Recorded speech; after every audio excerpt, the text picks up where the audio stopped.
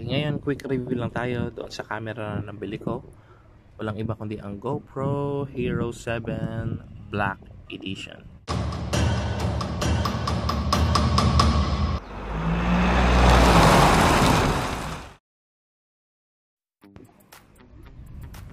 So what's up mga ka-eskutero? Ayan, magandang araw sa ating lahat. Ayan. Okay, ngayon quick review lang tayo doon sa camera na nabili ko. Walang iba kundi ang GoPro Hero 7 Black Edition. Ayan, okay. Nabili ko ito sa SM San Mateo. Ayan, sa second floor. Ang name ng store ay The Loop. Itong The Loop na ito, bilihan ito ng mga cellphone ng iPhone, accessories ng iPhone. Okay? At nag-iisa na lang ito sa store nila, ang GoPro Hero 7 Black na ito. Kaya I grabbed the opportunity na bilhin na itong camera na ito. At yun nga, para sa atin talaga itong camera na ito.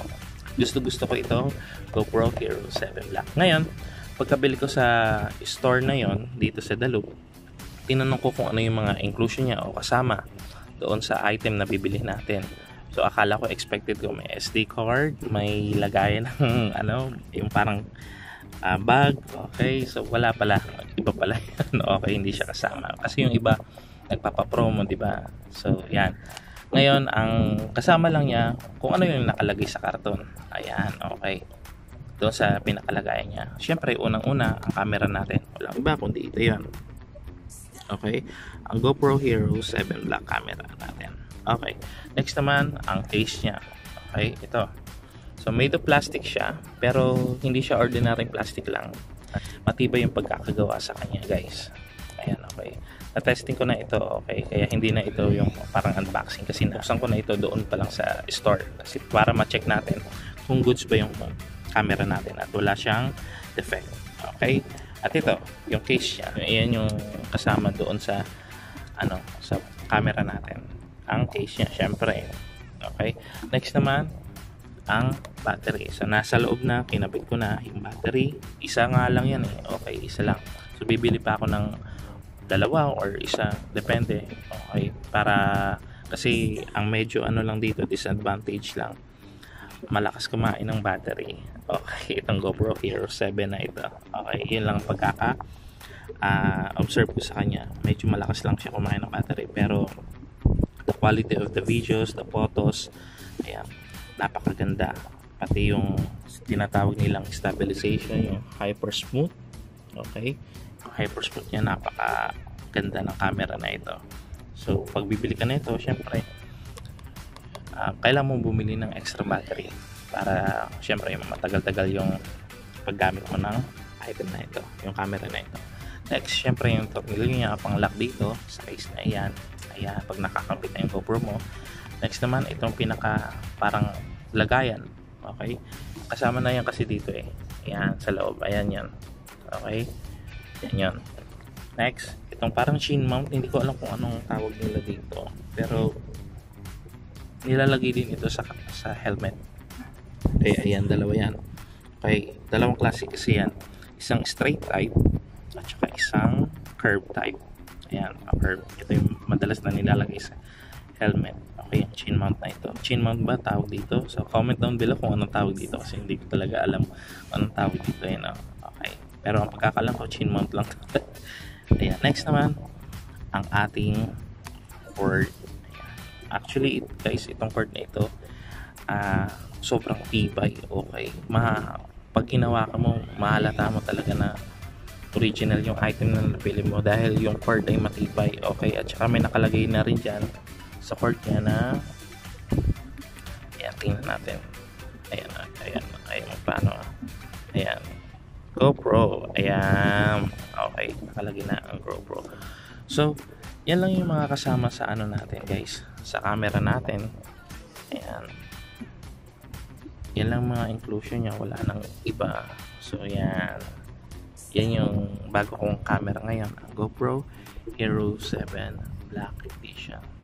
Yan. Another thing mga kaiskotero. So, kung mapapansin nyo, nabuksan ko na ito at gusto, yung bibiling ko sana ito gusto ko sana makita muna yung item niya yung pinaka camera niya Pero sabi ng store, bawal daw ito buksan kasi nakasealed nga. So binili ko ito mga ka-eskotero nakasealed ah. Don't get me wrong, okay? Hindi ko siya binili na nang wala nang ganito, hindi na na-open na siya. Binili ko ito na may sealed pa. Okay, at doon ko ako mismo ang nagbukas doon sa store para makita itong item nito.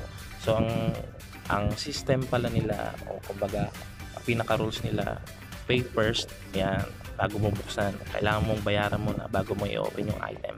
Para ano man mangyari syempre di ba? So yun ang maganda. Yun naman din ang maganda dito.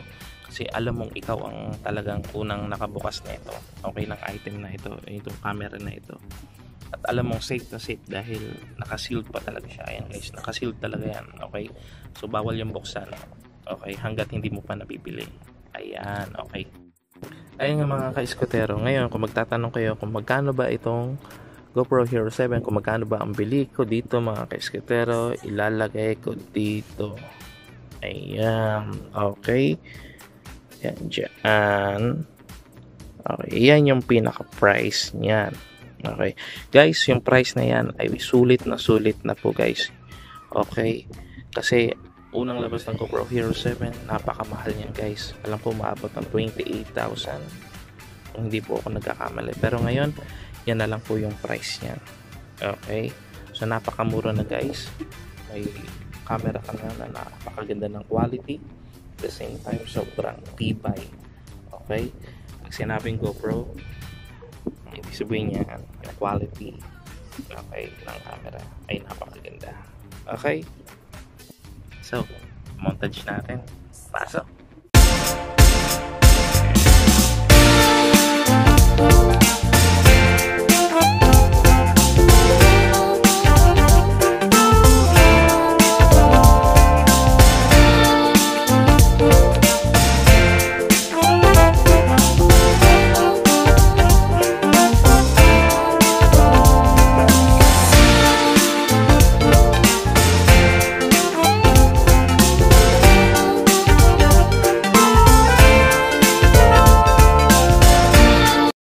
mga ka-eskatero, maraming salamat sa panonood sa aking quick reviews dito sa ating GoPro Hero 7 Black. Ayan, so please share, like, comment, and don't forget to subscribe to my YouTube channel and click the notification bell para maging updated kayo sa mga videos ko at sa darating fan na videos ko. Ayan, maraming salamat sa panonood mga ka-eskatero. Hanggang sa muli, paalam!